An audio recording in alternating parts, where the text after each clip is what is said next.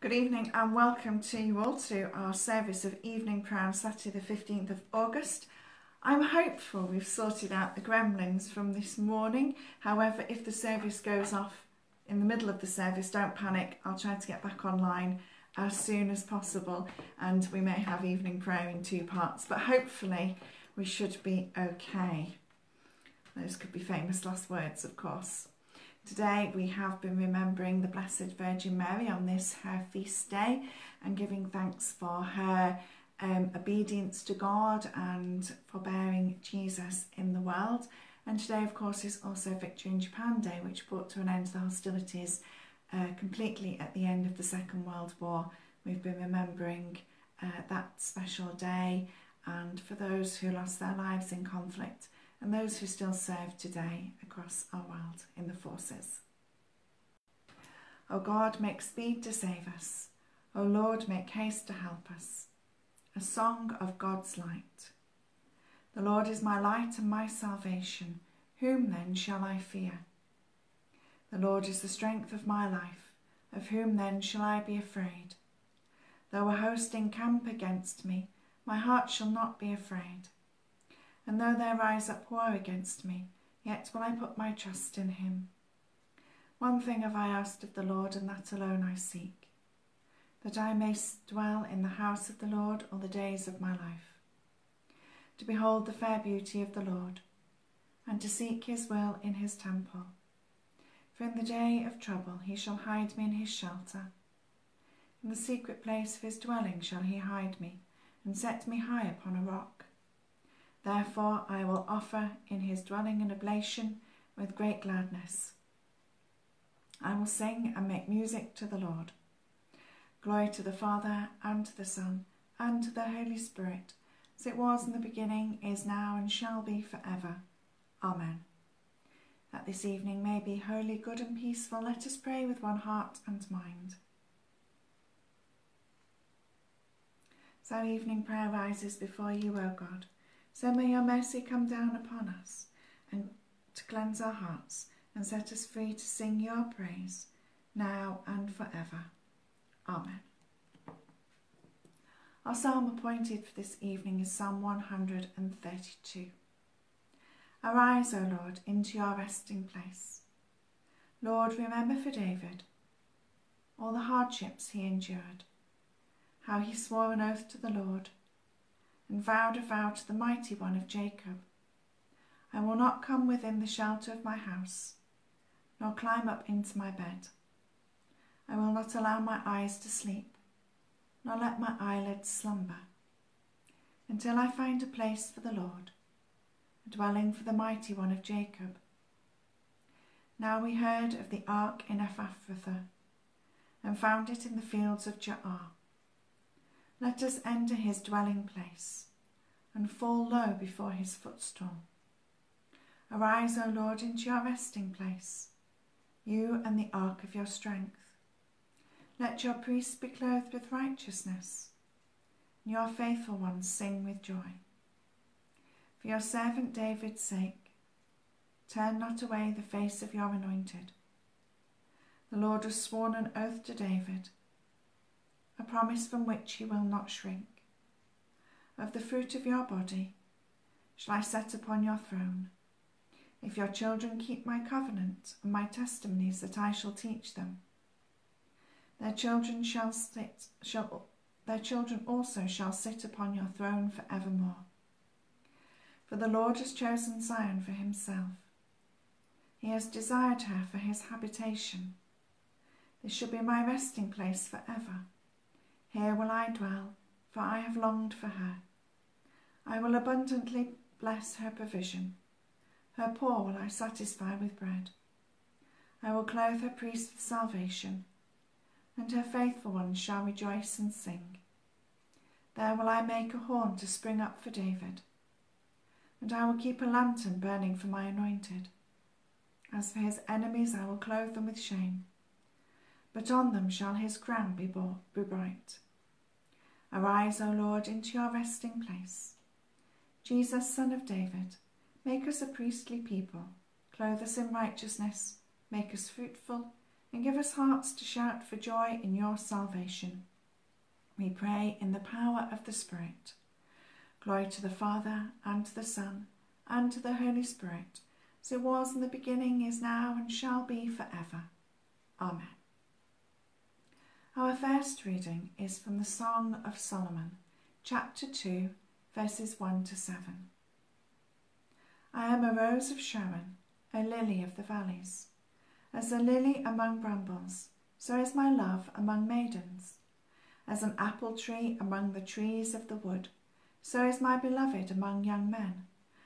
With great delight I sat in his shadow, and his fruit was sweet to my taste. He brought me to the banqueting house, and his intention towards me was love. Sustain me with raisins, refresh me with apples, for I am faint with love. Oh, that his left hand were under my head, and that his right hand embraced me. I adjure you, O daughters of Jerusalem, by the gazelles or the wild does, do not stir up or awaken love until it is ready. Here ends our first reading. God's love was revealed among us so that we might live through Jesus. Beloved, let us love one another, for love is of God. Everyone who loves is born of God and knows God. Whoever does not love does not know God, for God is love. In this the love of God was revealed among us. For God sent his only Son into the world that we might live through him. In this is love, not that we loved God, but that he loved us, and sent his Son to be the expiation for our sins. Since God loves us so much, we also ought to love one another. For if we love one another, God abides in us, and God's love will be perfected in us. Glory to the Father, and to the Son, and to the Holy Spirit, as it was in the beginning, is now, and shall be for ever. Amen. God's love was revealed among us, so that we might live through Jesus. Our second reading is taken from the book of the Acts of the Apostles, chapter 1, verses 6 to 14. So when they had come together, they asked him, Lord, is this the time when you will restore the kingdom to Israel? He replied, It is not for you to know the times or periods that your Father has set by his own authority, but you will receive power. And when the Holy Spirit has come upon you, and you will be my witnesses in Jerusalem in all Judea and Samaria, and to the ends of the earth. When he had said this, as they were watching, he was lifted up, and a cloud took him out of their sight. While he was going, and they were gazing up towards heaven, suddenly two men in white robes stood by them. They said, Men of Galilee, why do you stand looking up to heaven? This Jesus, who has been taken up from you into heaven, will come in the same way as you saw him go into heaven. Then they returned to Jerusalem from the mount called Olivet, which is near Jerusalem, a Sabbath day journey away. When they had entered the city, they went into the room upstairs where they were staying, Peter and John and James and Andrew, Philip and Thomas, Bartholomew and Matthew, James son of Alphaeus and Simon the Zealot, and Judas son of James. All these were constantly devoting themselves to prayer, together with certain women, including Mary, the mother of Jesus, as well as his brothers. Here ends our second reading.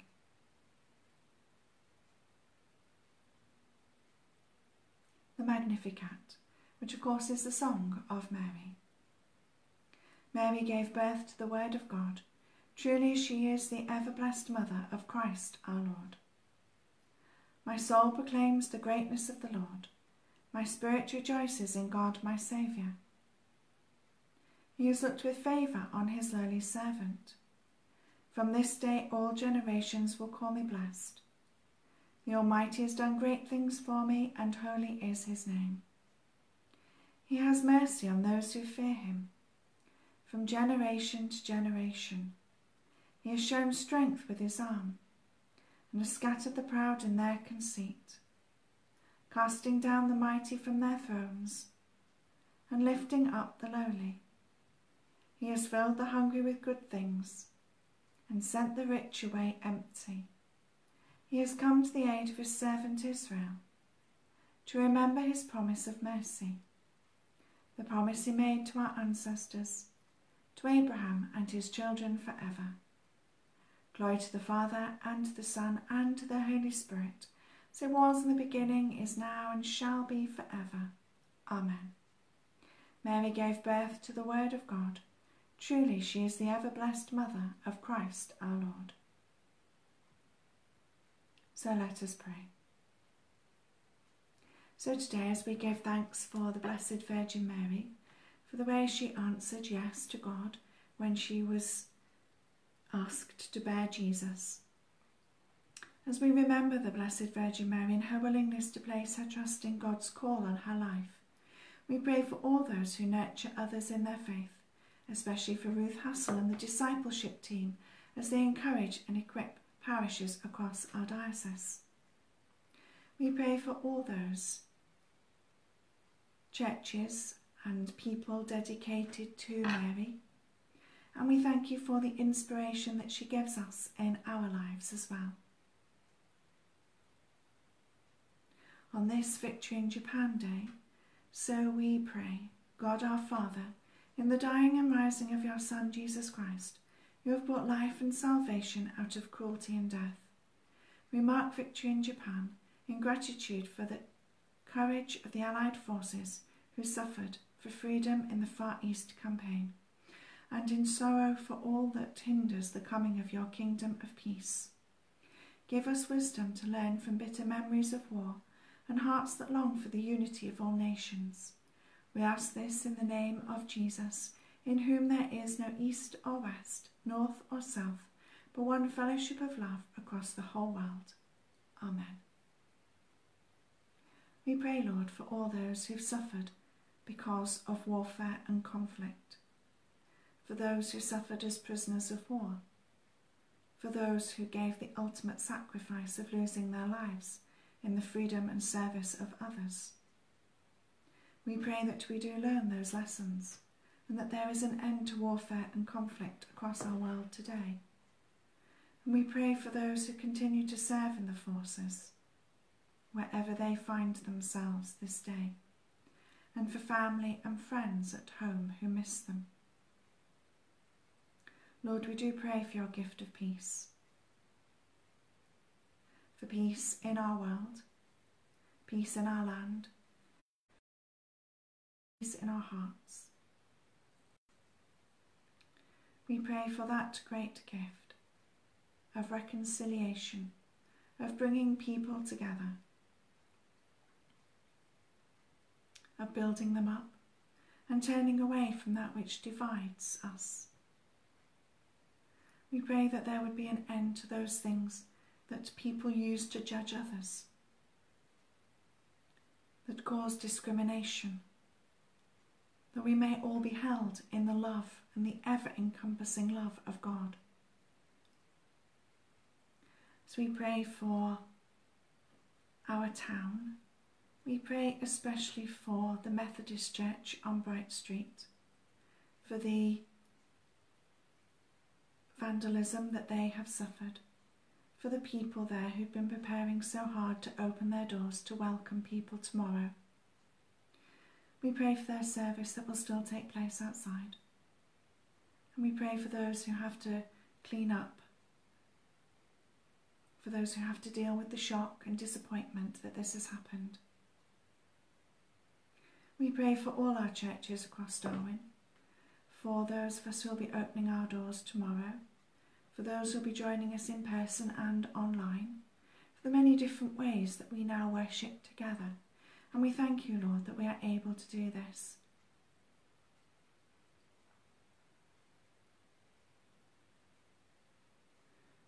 We continue to pray for our key workers, for those who've been going out to work today, and those who've worked from home.